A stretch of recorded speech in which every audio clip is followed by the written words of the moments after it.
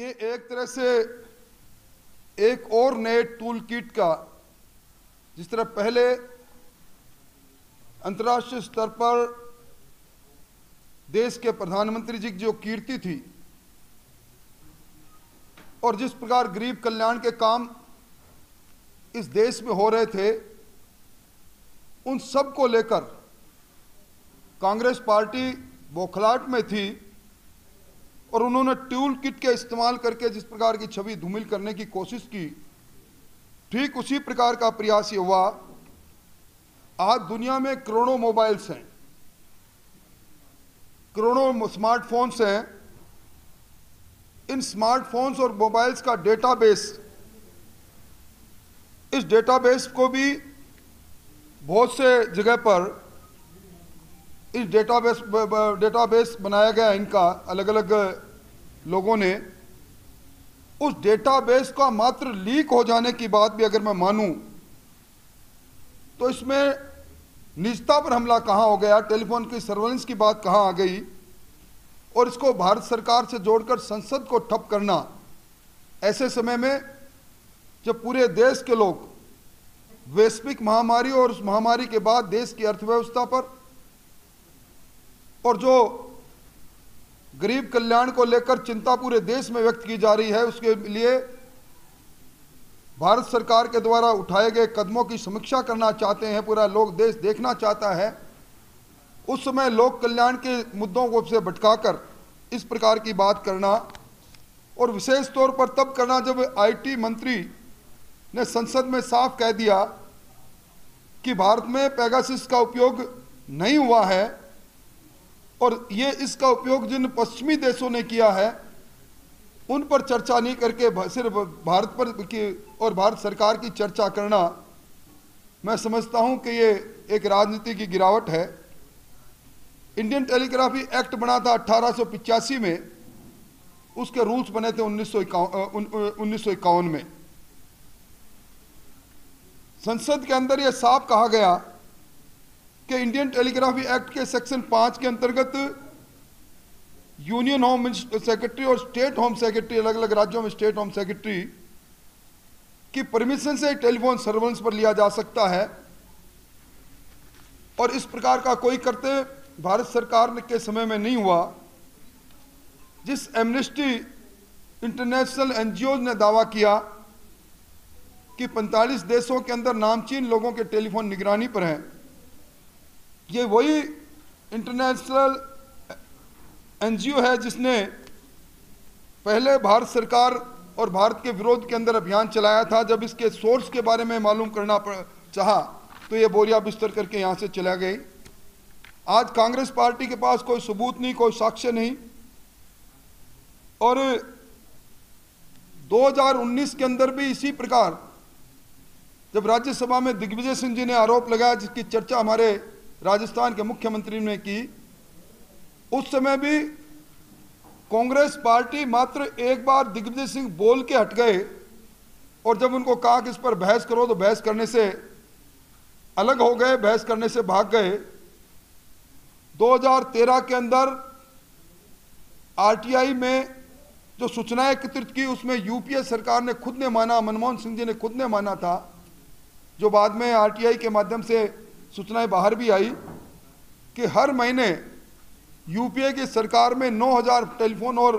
500 email को उन्होंने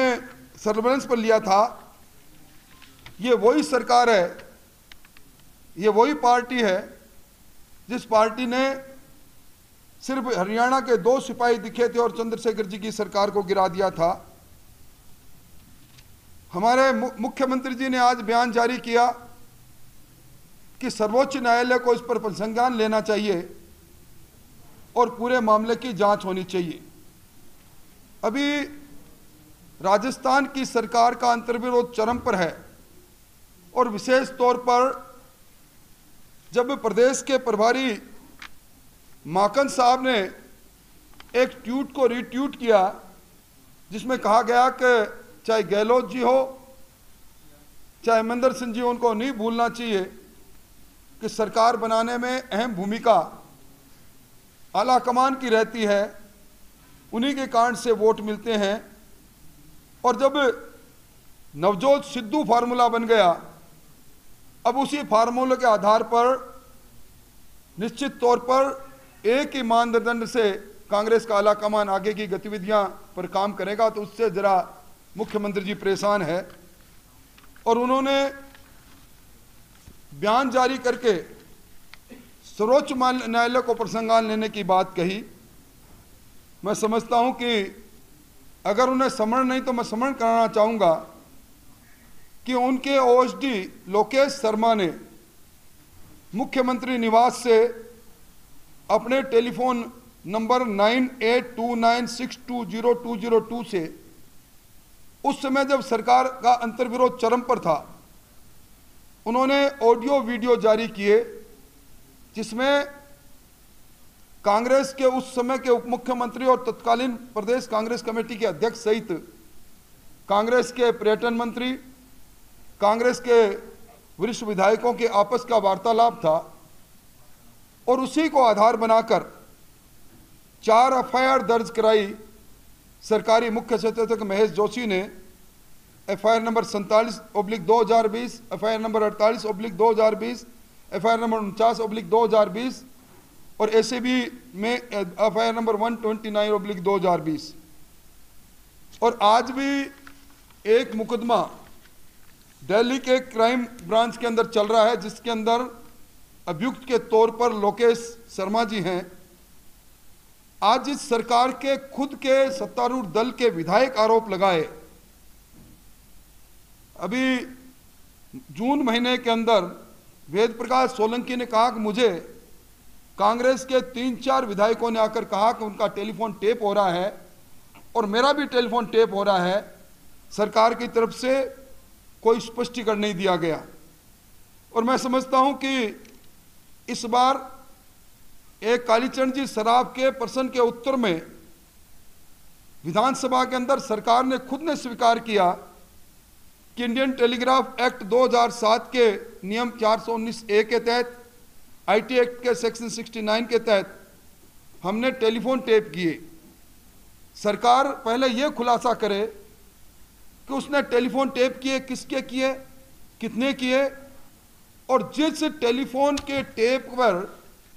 आज उनका ओएसडी खुद अभियुक्त बना बैठा है और जिसके आधार पर चार चार एफआईआर दर्ज की गई आज वही मुख्यमंत्री जी सर्वोच्च न्यायालय को, को, प्रसंज्ञान लेते हुए जाँच की मांग करते हैं। मैं समझता हूँ कांग्रेस का चाल और चरित्र सामने आ गया है और कांग्रेस पार्टी दिल्ली के अंदर संसद को ठप करके मुद्दों से ध्यान भटकाना चाहती है। कांग्रेस पार्टी नहीं चाहती कि संसद के माध्यम से कोरोना के प्रबंधन और कोरोना के बाद देश की अर्थव्यवस्था और जिन ऊंचाइयों पर अंतर्राष्ट्रीय क्षेत्र में प्रधानमंत्री नरेंद्र मोदी जी की अगुवाई में देश ने छुआ है, उस पर धात और प्रतिघात करके उन धवी को छुमिल करने का यह प्रयास हो रहा है। भारतीय जनता पार्टी इसकी निंदा करती है और मैं इसको कहता हूँ कि चाय के प्याले में तूफ़ान पैदा करने का जो कुत्सिक प्रयास है, इसका जनता में कोई प्रभाव नहीं पड़ेगा और एक बार फिर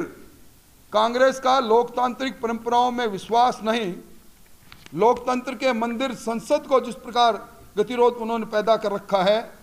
संसदीय प्रणाली पर कांग्रेस का विश्वास होता तो